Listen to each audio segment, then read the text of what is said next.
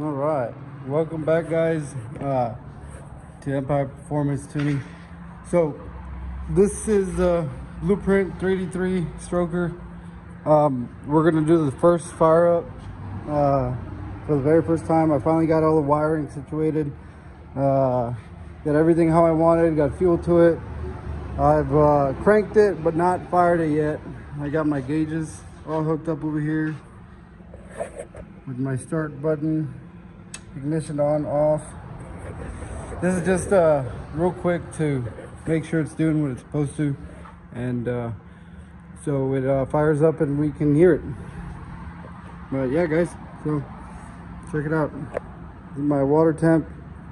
Uh, I obviously I got, don't have water hooked up to it yet. Uh,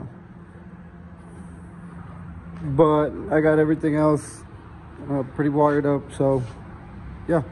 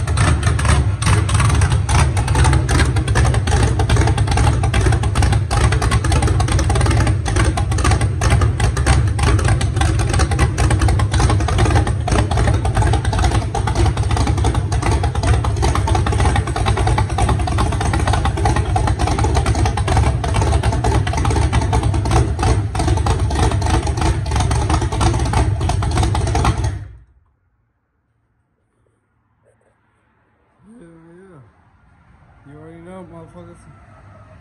You already know.